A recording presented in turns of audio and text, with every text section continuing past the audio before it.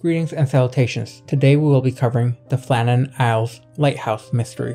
This strange and mysterious tale starts on the west coast of Scotland, where there is a small series of islands known as the Flannan Isles, with one of, if not the largest single island being Eilean Mor Island. Now, around 1899, a very large lighthouse would be built on Eilean Mor Island as a way of signaling sailors who were coming to port. The mystery of the island truly begins on December 7th of the year 1900, just after the new relief comes in order to restock the island with a new set of wickies. At any one point in time, there are at least three workers on the island who work on the lighthouse. This is a year round job. They work in two week shifts, and the structure essentially went as follows. There would always be three people on the island minimum, and every six weeks, someone gets to take a break, and they are rotated out. So, on December 7th, when they were to make the rotation, and the new wickies would come to stay at the lighthouse, the lighthouse keepers would be James Ducat, Thomas Marshall, and William MacArthur. It must be noted that this setup means that there were three men in the lighthouse, and that those three men should not come in contact with anyone else for two weeks, which would be during the next rotation.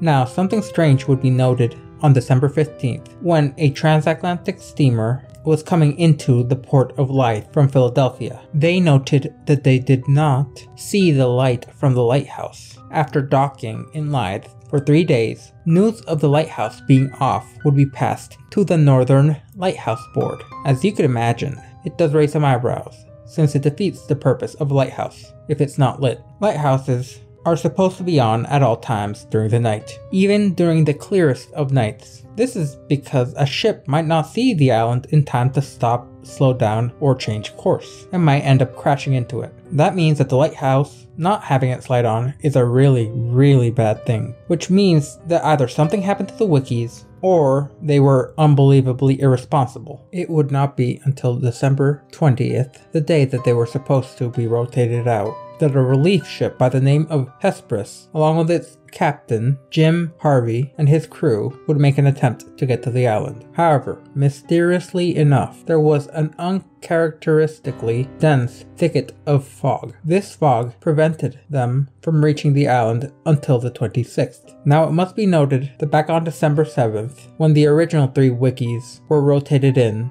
there was mention of a fog starting to settle in the area and on December 20th, that fog had gotten so bad that it made the journey to the island impossible. When the relief boat actually got to the island, they were pressed into going to the east dock, where they quickly spotted several boxes along with supplies sitting on the dock. These had not been brought into the lighthouse, which raised some questions. Even more suspiciously, there was no one to greet them there or even signal them in. The fact that the lighthouse was derelict in its duties by not having someone to look out for ships that were coming into port from the coast, along with having no one to raise the signal flags, was rather worrying. Ship Captain Jim Harvey shot a flare due to how strange the situation was, and even went as far as to sound the horn. However, no one would come to meet them or answer them in any way, shape, or form. Due to this, they made the decision to send a small landing party to shore with relief, including lighthouse keeper Joseph Moore, to look into the event. Once he got up to the lighthouse, he was met with the lighthouse gate, which was closed shut, along with the front door, and supposedly he was met with three astoundingly large blackbirds, which were perched on a cliff, staring directly at Moore. He felt as if it were that they knew something as they looked right at him. One of the first things he noticed once he reached the inside of the lighthouse was that the table was set for a meal that had never been eaten, and a chair had been toppled over. Just a singular chair. A canary in a cage was the only sign of life in the entire lighthouse, or island, aside from the three blackbirds he saw. Returning to the eastern landing, Moore reported his findings to the captain of the Hesperus. Strangely enough, he noted that every single other door in the lighthouse had been closed. None of them were open. However, once looking into the rooms, it would be found that all the beds had been left unmade. This made it seem as if there had been someone in the middle of eating at the lighthouse, and they had been just going about their day just before vanishing. leaving everything lying, just as if they had never even been there. The landing party also made note that all the clocks had been stopped. However, as spooky as this sounds, in reality, it is significantly less creepy than it sounds. Clocks at the time functioned rather differently than they do today. They required to be manually wound, which meant that rather than anything supernatural having happened, the clocks had just not been wound for a long enough time to stop functioning.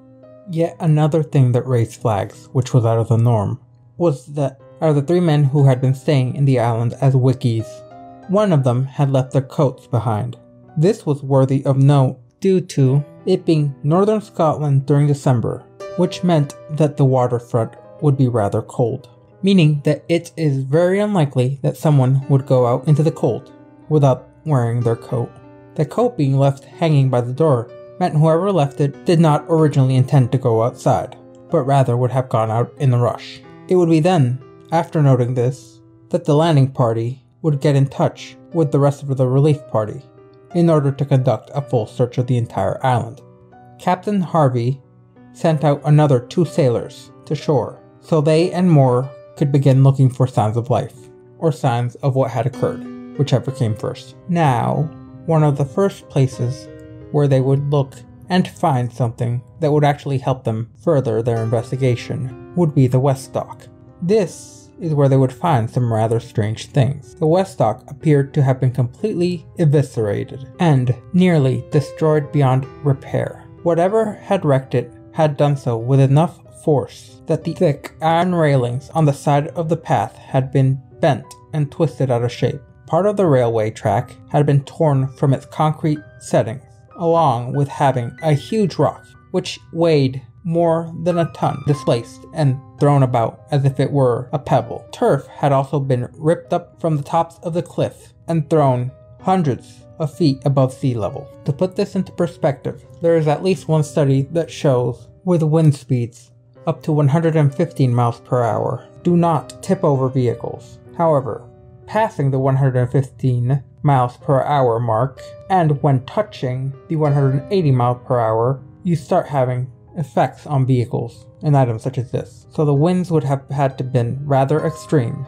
to have bent the iron bars or ripped anything purpose built to remain on a dock out of its concrete settings. Now, while going through the first wickie's logbook, there were mentions of the West Dock needing repairs. However, the problem with this is that the repairs were not made to seem anything more than the usual, and there was definitely not anything mentioned about damage to the extent of what the landing party saw. The repaired mentions appeared to be more similar to that of normal maintenance. This would mean that from the time that the last logs were made, that the West Dock would have deteriorated significantly. And stranger still, is that the East Dock was nearly pristine when compared to the West Dock. This log was made even more important once they realized that it had a day by day account of what happened on the island proper. This included readings of barometric pressure, ship sightings, along with noting the nearly all consuming fog that had prevented the relief party from originally coming ashore along with what was noted in the logs as very turbulent weather conditions. Here is where things start to become strange. Because while yes, the island is a rather long ways offshore, it is not far enough to have completely independent weather patterns from the shore, and it was close enough to the shore to allow an individual whose job was to make certain that the lighthouse was functioning with the naked eye However, this individual reported no storms occurring within the time period. Neither had anyone else outside the island proper. This begs the question if there were this massive storms mentioned in the logbooks that caused so much destruction to one of the piers, why had no one else mentioned them in any way, shape, or form? The individual whose job was to watch the lighthouse and make sure it was visible, or at least the light from the lighthouse was visible, would say that it was only actually visible on the night of the 12th and that every night aside from that, he was unable to even make out the island, much less anything else, such as the lighthouse or the light itself. Now, it is within the assistant wickie's log that things start to get rather interesting, and while accounts within it are impossible to validate, it is still a source that should be accounted for regardless. The assistant spoke of how the storms were getting progressively worse every night, which lines up with the official logs saying that the storms were getting worse. Now, this log mentions that the storm was getting so bad it was causing all of the men to begin to pray, along with stating that the men had begun to cry due to not knowing what they were going to do. In essence, they were both panic filled and felt nothing but despair. This was the headspace that the men would be in when the final log recordings were done. The last entry, however, of the original logbook was made at 9am on December 15th. This was the original night where the boat passed and noted that the light from the lighthouse was not visible, meaning that the boat was close enough to notice, or should have been close enough to notice, the extreme weather that the wickies were experiencing. However, the only entry that day from the second wickie's log was that the storm had ended, the sea was calm, and God is over all. After that, there would be no more entries, and the crew of the Eilean Mor Lighthouse would never be seen or heard from again, alive, dead, or otherwise. However, currently, there is the story that the three men's souls became that of the three crows that stalk the islands. There's also those who note that the Flannan Isles area has been rife with legends of sea monsters, sprites, along with other supernatural and mythological beings, which tormented humanity. However, there are proponents of the theory that the men were judged, or they were unknowingly interacting with a greater power, potentially the divine. This is due to the strangeness of the fog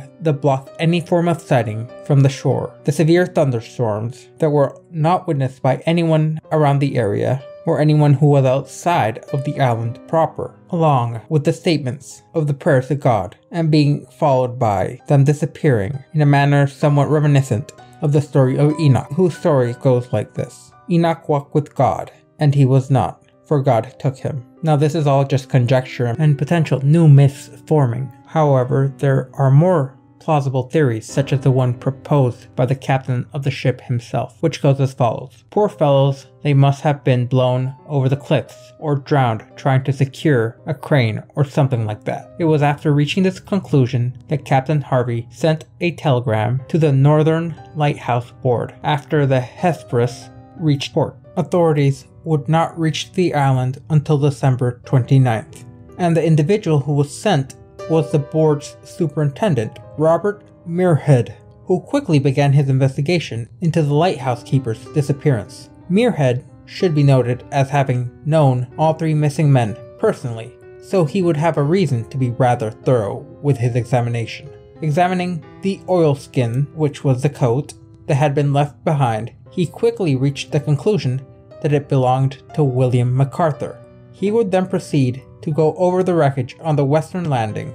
Muirhead, after a heavy and thorough investigation, went on to speculate that Marshall and Ducat must have headed out into the storm to try to secure the equipment stored there. This is when Muirhead believed that they would not return. And then MacArthur must have ventured out to try and find his co-workers.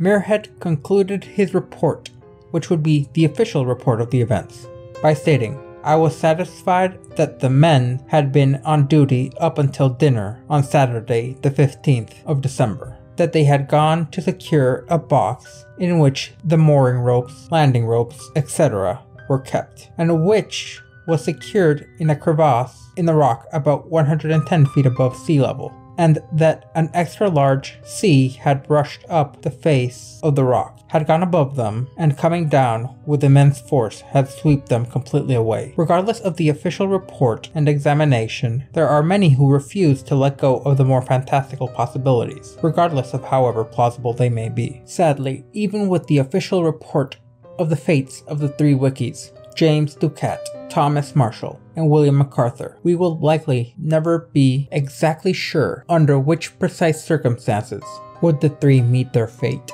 However, this fate has given them a form of immortality, in a sense. They are now as much a part of the myth and mythology of the sea as any other nautical tale.